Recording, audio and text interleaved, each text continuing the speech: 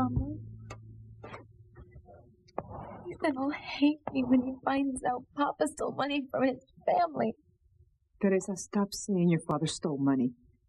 I don't believe it for a minute. Even if it's not true, Ethan's father must think it's true. Otherwise, why would he tell Luis? I don't know. I'd die if I lost Ethan because he thinks Papa is a thief. Theresa, stop it. Stop talking this nonsense. Ethan is going to marry Gwen. And when? When are you going to come down to earth and realize that Ethan is not going to marry you?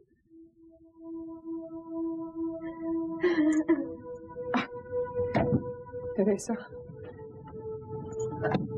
I don't want to hurt you, but you hurt yourself when you dream about marrying Ethan. You know it's not going to come true. And I wish you would stop dreaming these impossible dreams and start dealing with reality. Now, come on. Let's go light your father's candle.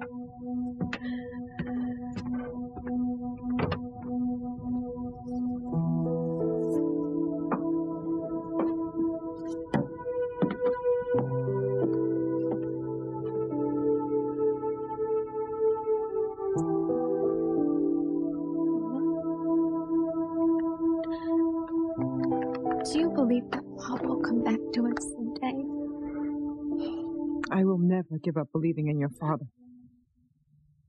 Then why can't I keep my dream of being with Ethan? Please don't get so upset over nothing. Nothing. Giving up the dream of a lifetime is nothing? You will have other dreams. Other men will fill your heart and your mind. Oh, Mama, there will never be another man. And to get some air, I'll be back. Theresa, it's cold out. Please stay inside. I have to think, Mama. I have to figure out what I'm going to do with my life once Ethan finds out what Papa did to his family. Theresa, wait.